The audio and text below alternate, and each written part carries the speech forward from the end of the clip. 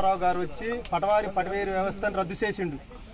ఇప్పుడు కేసీఆర్ గారు ఈ రెవెన్యూ వ్యవస్థను రద్దు చేస్తే సామాన్య మానవుడు గంత పట్టడన్నం తింటాడు సార్.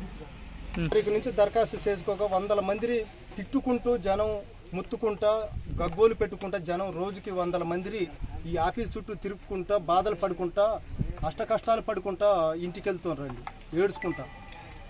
ఇంత గోస ఎక్కడ లేదు. ఈ నెరి డబ్బుతో నడుస్తుంది ఈ ఆఫీస్ మొత్తం కూడా. ఈ రెవెన్యూ ఆఫీస్ మొత్తం కూడా డబ్బు మయమైంది ఇస్తుండగా కూడా లక్ష లక్షలు ఇస్తుండగా కూడా పే మన గద్దల్లాగా పేక్క దింగుతారు పే- పేద ప్రజలు ఈ వ్యవస్థని కేసీఆర్ గారు రద్దు చేయాలని నేను ఆయనకి దండాలు పెట్టుకుంటున్నాను కొంతమంది ఈ భూ పక్షాలను కూడా జరగలేదు సార్. చాలా మంది అష్ట కష్టాలు పడుతున్నారు ఒక్కొక్క విఆర్ఓ రెండు వేలు మూడు వేలు దాని పాస్బుక్ వచ్చినాక కూడా నీది పట్టా కాలేదని రెండు వేలు మూడు వేలు అడుగుతున్నారు సార్.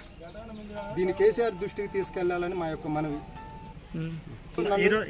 దరఖాస్తు చేసుకున్నా నా మా భూమి రికార్డులో నల్లపాటి లింగయ్య ద్వారాగా గుడిగుంట్ల వెంకయ్య మా భూమిని రికార్డులో ఎక్కించుకుంటూ ఇరవై వేల రూపాయలు ఇచ్చి ఏది ఈ ఆఫీసులో డీటీ గారికి.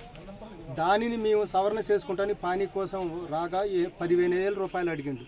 దానికి మేము ఇయ్యలేము అనగా నువ్వు అపాయింట్మెంట్ తెచ్చుకొని ఇబ్బంది పెట్టిండు. అప్పటి రెండో తారీఖు నుంచి ఈ ఆఫీస్ చుట్టూ తిరుగుతూనే ఉంటుంది నేను కాక నా అటువంటి రైతులు కూడా అల్లాడుతారు ఈ ఆఫీస్ చుట్టూరు. ఈ రోజున నిన్నటి నిన్నటి రోజున ఎనిమిది వేల రూపాయలు డిమాండ్ చేసిండు. అట్లయితేనే ఇస్తా లేకపోతే లేదని అపాయింట్మెంట్ ఇచ్చిన.